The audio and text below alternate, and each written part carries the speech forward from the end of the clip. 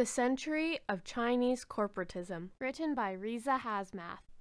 Introduction Since its foundation in 1949, the People's Republic of China has engaged with corporatism as a model for organizing societal interests. China's corporatist elements, misunderstood as they often are by foreign observers, help to explain its economic successes and political resiliency. In the Anglo American imagination, however, corporatism usually calls to mind the authoritarian or fascist dictatorships of the early 20th century, and corporatism is often wrongly thought to be wholly incompatible with liberal democracies. While it is true that corporatism was co opted as a strategy of choice by non democratic regimes such as Mussolini's Italy and Salazar's Portugal, it has also been successfully used in many different forms by post World War II democratic governments, including the United Kingdom, the Netherlands, Germany, Sweden, and Japan. In the late 1980s, the Democratic presidential candidates Gary Hart and Michael Dukakis even suggested corporatism as a potential model for managing and mediating organized labor. Robert Reich, the Secretary of Labor during the Clinton administration, suggested the same. More recently, it has become something of truism that U.S. leaders have misunderstood China and misjudged its political trajectory over the last few decades. Just as they have been caught off guard by many important political and economic developments in the West. Part of the explanation for both failures is that American politicians have ignored the insights of corporatism and have difficulty embracing corporatist models at home or abroad, whether in democratic or non democratic contexts. In its most basic form, corporatism seeks to organize society into associations based on common interests, like business and labor, that work together to achieve harmonious results. The corporatist project is not a socialist one per se, nor, on the other hand, is it laissez faire capitalism. Instead, as Alan Cawson once put it, corporatism offers a certain set of institutional mechanisms and structures in service of the state that can be applied across a wide spectrum of political regime types. In his own words, Corporatism is a socio political process in which organizations representing monopolistic functional interests engage in political exchange with state agencies over public policy outputs, which involves those organizations in a role that combines interest representation and policy implementation through delegated self enforcement. Or, as Philip Schmitter, the contemporary grandfather of corporatist theory, writes, corporatism is a system of interest representation in which the constituent units are organized into a limited number of singular, compulsory, non competitive, hierarchically ordered, and functionally differentiated categories, recognized or licensed, if not created by the state, and granted a deliberate representational monopoly within their respective categories in exchange for observing certain controls on their selection of leaders and articulation of demands and supports. One of the essential elements of corporatism is that the state recognizes one association as the representative of a sector's interests. The state forms a partnership with the association, which generally occurs as a two way relationship. The association is often asked for its position on current and prospective policies, as well as assistance to implement and execute policies. The aim of corporatist models is to organize key segments of society into singular associations that mediate their members' interests. Even in the United States, many such associations already exist. Chamber of Commerce, for instance, will represent business interests of all sizes and regions. This is how the U.S. Chamber of Commerce aptly describes its mission to represent the interests of more than 3 million U.S. businesses. Similarly, consider the example of the American Federation of Labor and Congress of Industrial Organizations, in brackets AFL CIO, a federation of 55 unions representing more than 12 million working individuals, whose mission is to broadly advocate for labor rights. The problem for nations without a corporatism model is that the direct mechanisms for engaging such associations in productive negotiation and collaboration, and for enlisting their assistance in implementing the government's policies and goals, often do not exist. Lacking a corporatist framework, pluralist systems use a model of organizing and relating interest groups. This is characterized by divisive competition and conflict between various associations. Not only is such conflict tolerated, it is actively encouraged. Under pluralism, when the U.S. Chamber of Commerce and the American Federation of Labor and Congress of Industrial Organizations are at odds with each other, as it often happens, one of their primary strategies is to bargain and lobby in a conflictual manner toward an outcome that may not fully please either side or serve the nation's overarching interests. Indeed, such conflict can often lead to suboptimal policy choices, particularly when viewed from the standpoint of the nation as a whole. In addition, the pluralist competitive model can also engender distrust and even alienation among members of conflicting associations while causing ambient distrust among the public. By contrast, the goal of corporatism is to encourage organized consensus and cooperation toward outcomes that serve the national interests. Corporatist models suggest that aggressive competition and conflict between organized interests is not necessarily required for optimal outcomes. When considering China, we must keep in mind that corporatism is not intended to be a complete account of the Chinese regime.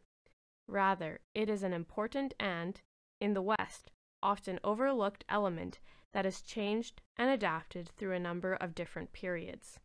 In China's Maoist phase, from the early 1950s to mid 1970s, corporatism took the form of an aggressive, state led effort to organize every aspect of society from the top down. But, contrary to the expectations of some observers, particularly those subscribing to core neoliberal tenets, corporatism remained an element of market reforms under Deng Xiaoping, Jiang Zemin, and Hu Jintao, and remains an important element of policy, philosophically and pragmatically, under the current regime shepherded by Xi Jinping. All told, since 1949, China has tried a large number of successful and not so successful corporatist experiments. What these phases have in common is a state corporatist, top down approach, albeit with shifting degrees of state involvement, and, in the present era, a snail's pace effort towards building a societal corporatism, bottom up, terms that I describe further below. Over the same period, we have also witnessed a shift from a centrally controlled corporatist state to one in which the local state has a greater space to implement corporatist techniques, allowing the formation of business and professional associations at the local level, and providing them a space for local state directed bargaining. As China embarks on its next decade, a consideration of Chinese corporatism is useful in two respects. First, foreign cooperations and governments who engage in China particularly if they come from pluralist competitive societies, tend to misunderstand the nexus of businesses, organizations, and the state. They wrongfully presume that state direction and corruption are synonymous. A more nuanced understanding of Chinese corporatism, however, leads to an important second point that some lessons learned by Chinese experiments in corporatism during the very period of its ascent to becoming an economic superpower may be beneficial for foreign policymakers considering paths to a more stable public life. Section 2 From State Corporatism to Societal Corporatism At its beginning, 70 years ago, the People's Republic of China fashioned its corporatist template from the Soviet Union, which, earlier in the 20th century, had instilled corporatist elements into all the Soviet state. The key premise behind the Soviet and the then burgeoning Chinese model was that varying associational interests could achieve societal harmony with the state front and center. As the state led the Soviet Union and China through industrialization, the idea was that the state would be, would be the guardian of the common good and of the national interest that supersedes the parochial interests of each constituency. In this approach, commonly called state corporatism, the Chinese state sought to develop close institutional arrangements with large associations in society. In a socialist state such as China in the early 1950s, this project was rather difficult.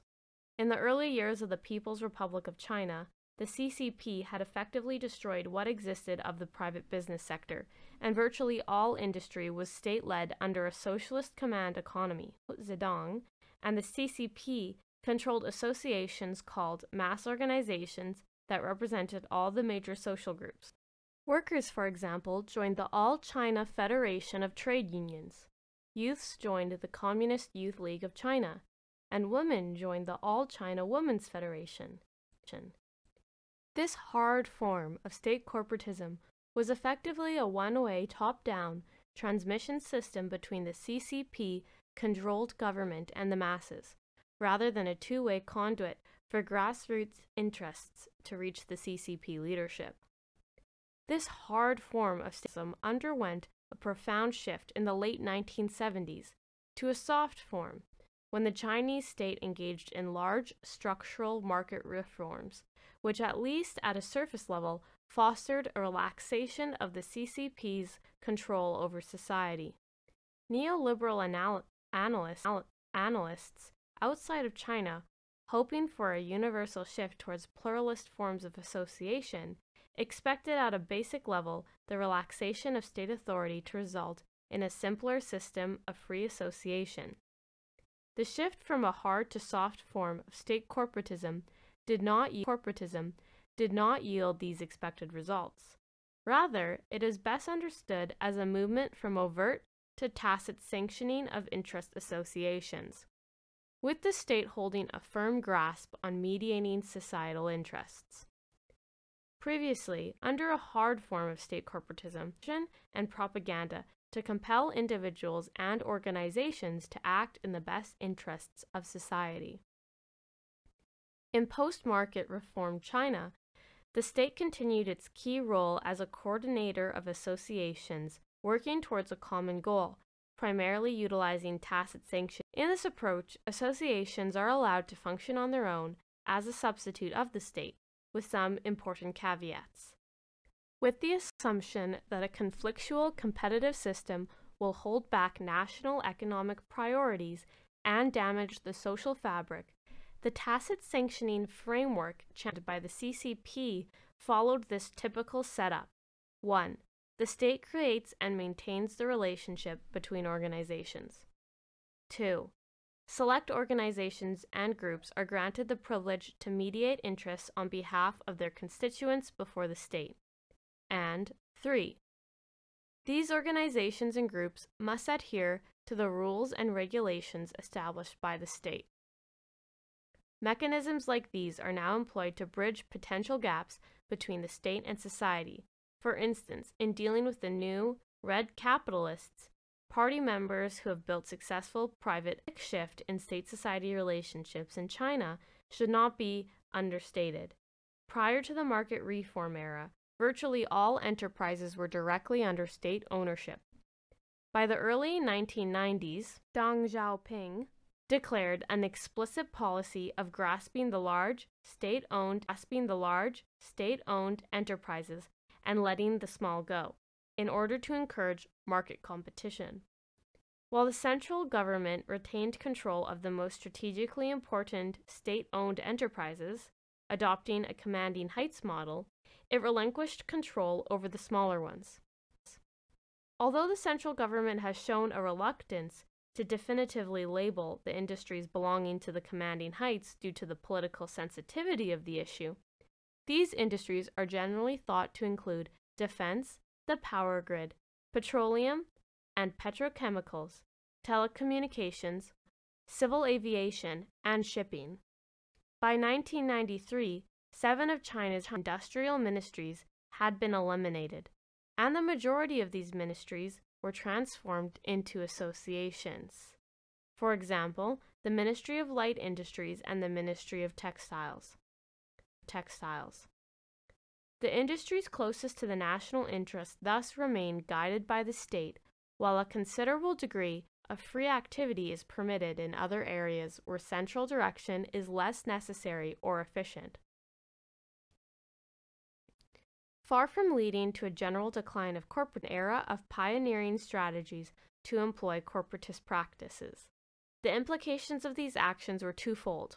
First, while the state stepped back from its early hard form of state corporatism, it retained indirect control of the affairs of associations, with an eye toward maintaining economic advancement and advancement and social stability.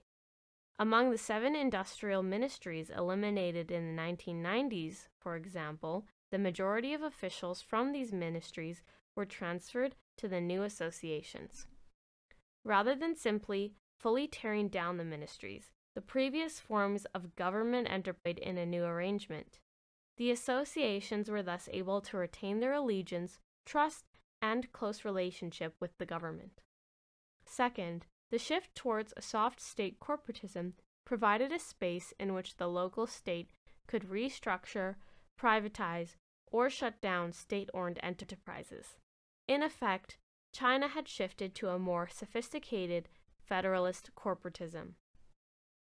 As China entered the World Trade Organization, and during the even greater liberalization of China's economy in the 2010s, many analysts and scholars imagine that China form of corporatism that could be enforced voluntarily, a societal corporatism, so to speak. The society led form of corporatism was commonly found in other East Asian nations, such as Japan and South Korea, which had already, more or less, transitioned from a state to societal corporatism. In a societal corporatist framework, institutionalized bargaining between an association's interests and the wider public's interests is shaped from bottom up, grassroots efforts rather than the top down model proper to state led corporatism. Many analysts hoped that Chinese business associations hoped that Chinese business associations and labor unions would begin to behave more like those in other East Asian countries and be primarily influenced by their grassroots constituent members notwithstanding to suggest that there is, or about to be, a transition from state to societal core point. The guiding overarching philosophy and approach of the Communist Party of China and the current Xi Jinping government is one in which the state will be the final arbitrator of institutional relations, whether through overt sanctioning or tacit sanctioning. Even if a weaker or more fragmented form of corporatism comes to pass, the state is still, strictly speaking, the ultimate entity that mediates Chinese society's larger interests. The reasons China has held on to forms of state corporatism become evident when we consider how market liberalism played out at the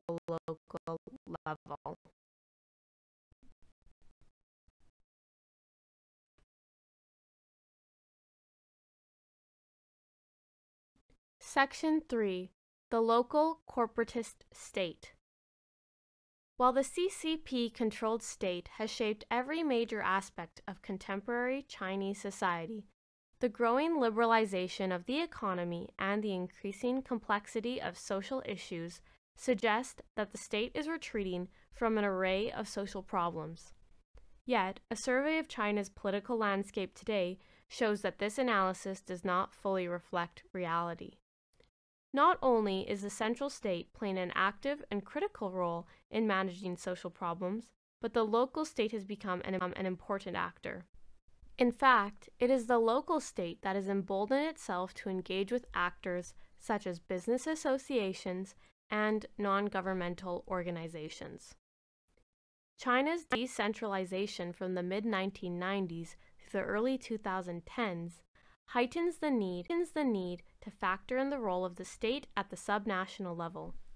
Local states were given and expected to make a wide range of decisions, as well as take on added responsibilities for managing social needs.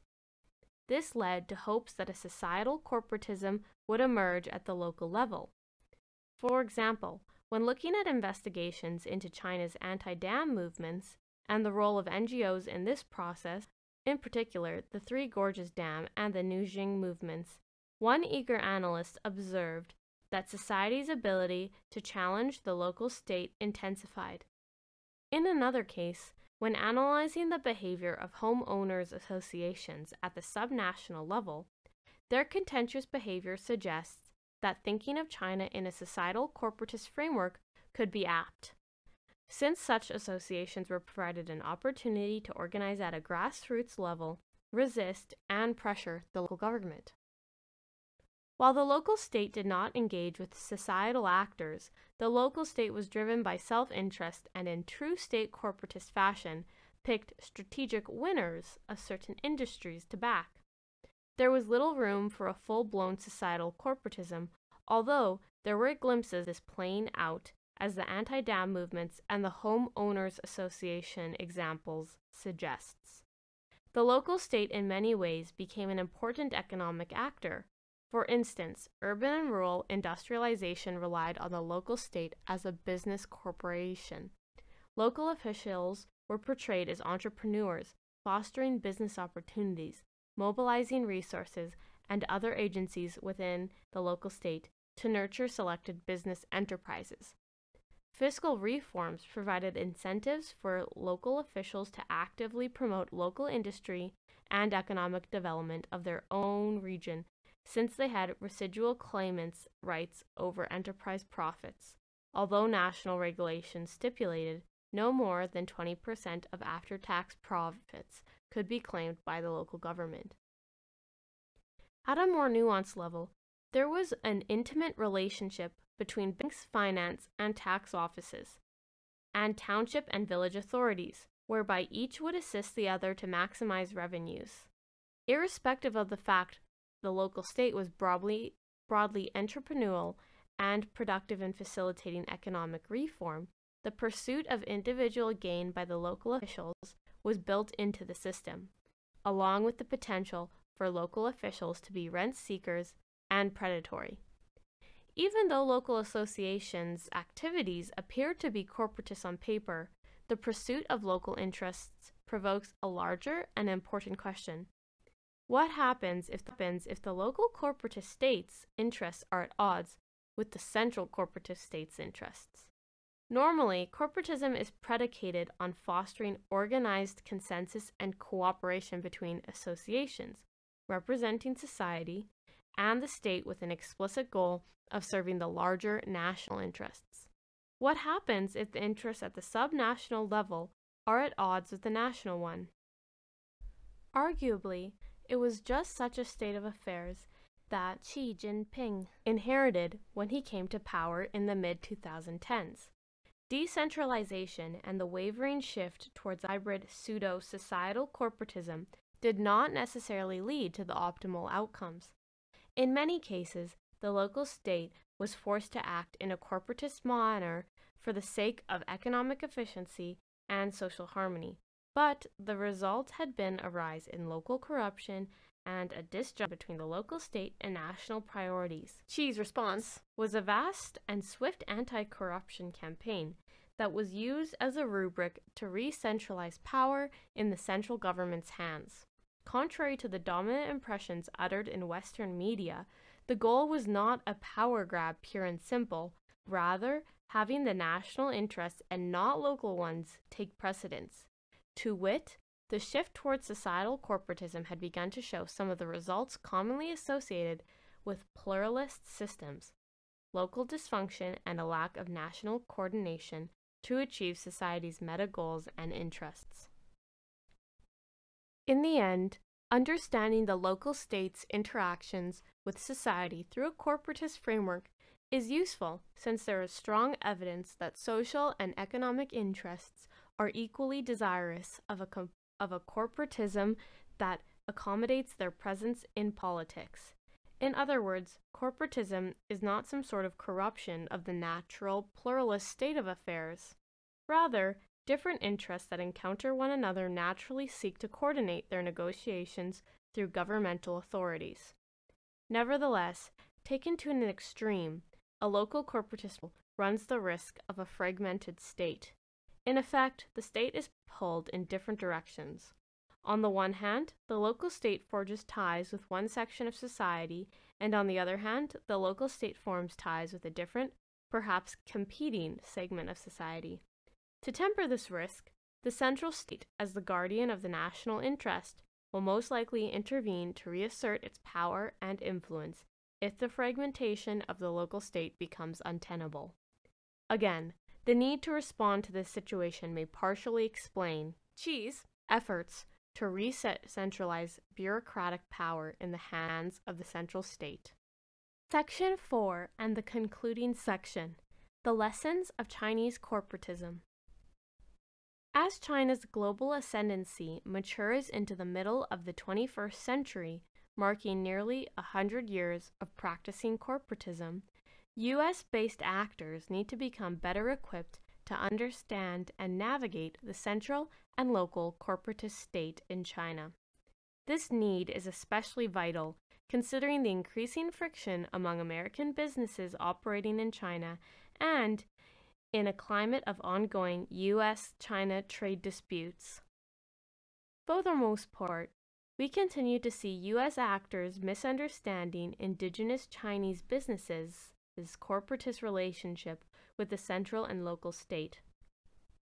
This misunderstanding is reflected in how US based actors seek to influence China's domestic policymaking via Western interest group lobbying techniques. This approach is a curiosity from afar, since overt and open political bargaining or lobbying outside of the bureaucratic state structure is generally against the rules of success in the Chinese corporatist context. Although pluralist competitive lobbying has proved fruitful on occasion, it is widely perceived as an oddity in China, and Chinese authorities seldom concede vital elements of the policy-making process to private interest groups. Chinese associations generally try to influence policy decision making through mutual, harmonious agreement rather than open opposition and confrontation. Understanding the inner workings and operations of the Chinese corporatist state and its complex relationship with societal associations allow actors to better influence the state so long as the goals sought are congruent with the overall national interest. This harmony is the true ethos of corporatism, and it is a lesson that actors embedded in political life should seek to understand with greater appreciation. Understanding state society relations in China through a corporatist lens allows us to better engage with the nuances and motivations of the state. It allows us to analytically examine changes that have occurred within the Chinese state structure vis a vis society as a result of economic reforms.